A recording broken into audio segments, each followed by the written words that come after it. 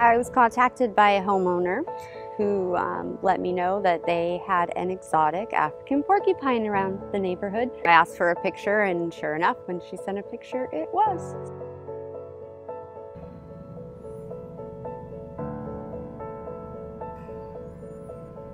He was very lucky. He was in a busy area, there was heavy traffic. Um, you know, with our hot summers and then the cold winters, it's, it's pretty amazing that he survived this long.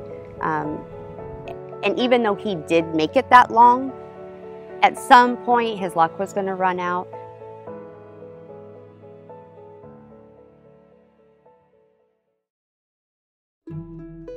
I'm actually set up for wildlife. I'm used to accommodating a variety of species, um, and he has probably been one of the most high maintenance animals that I have had into care.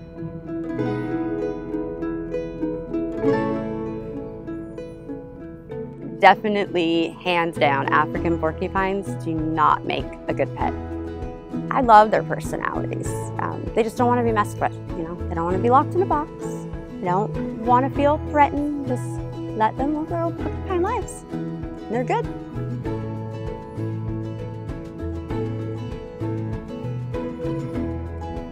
Obviously, they're, they're pretty pokey, and the mess that he can make in one night is impressive. They're very smart, they want to be kept entertained, they're not going to be cooped up.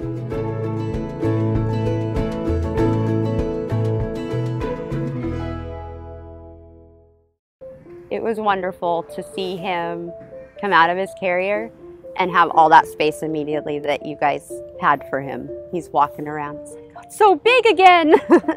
it was really neat to see that. That's worth the drive.